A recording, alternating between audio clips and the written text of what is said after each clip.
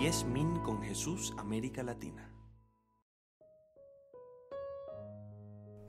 Al iniciar el tiempo de Cuaresma, estamos llamados a revivir en nosotros la experiencia de Mateo, de pecador, publicano, alejado de Dios, a discípulo.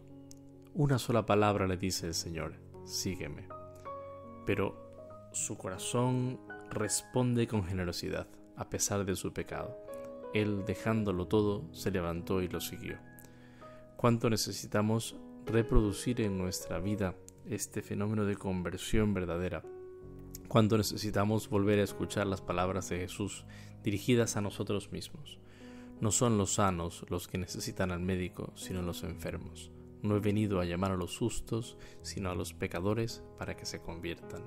Es decir, Jesús ha venido por ti y por mí, que somos pecadores y necesitamos de su gracia y su paz. Que Dios los bendiga.